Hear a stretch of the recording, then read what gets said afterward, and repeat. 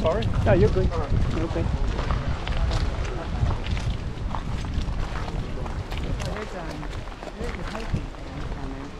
Yeah, yeah. Ah, we're gonna pull in line.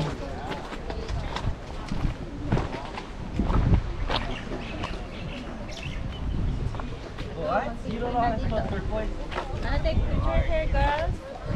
Uh, is that the name of the book? kalk.